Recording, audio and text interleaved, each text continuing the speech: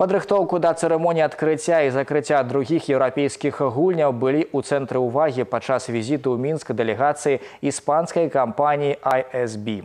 Гэты медыяхолдынг з'яўляецца дамашнім вяшальнікам мультыспартыўнага форуму. Госці пабывалі на алімпійскім стадыёне дынама, дзе будуць праходзіць галоўныя цырымоніі гульняў.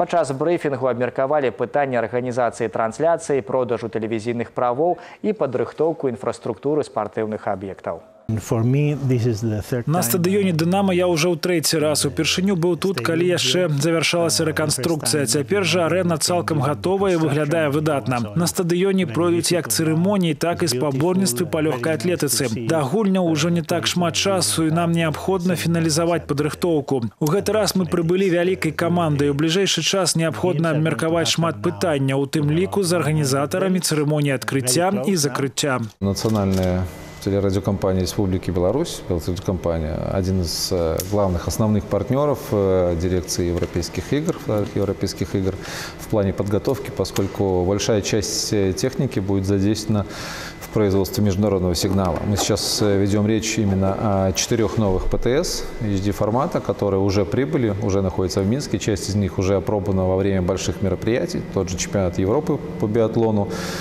Э, здесь на «Динамо» в том числе будет основная точка церемонии открытия, закрытия, э, соревнований по легкой атлетике. И здесь будет работать как раз-таки одна из этих э, новых ПТС для того, чтобы обеспечивать международный сигнал для всех правообладателей.